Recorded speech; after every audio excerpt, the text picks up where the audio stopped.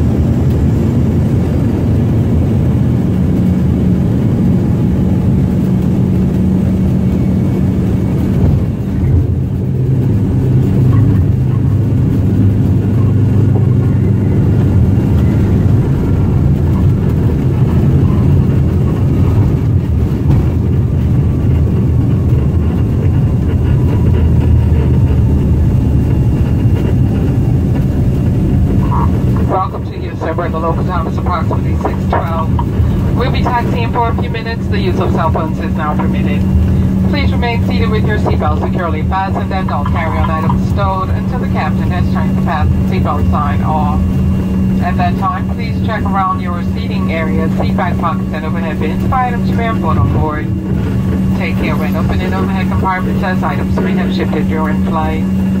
For those passengers with carry-ons, give it to the agent while boarding. They'll be returned to you once you exit the aircraft. On behalf of United, United Express, the Star Alliance Network Airlines, and your entire flight crew, we thank you for choosing to fly with us today. Welcome home, have a safe and pleasant onward journey.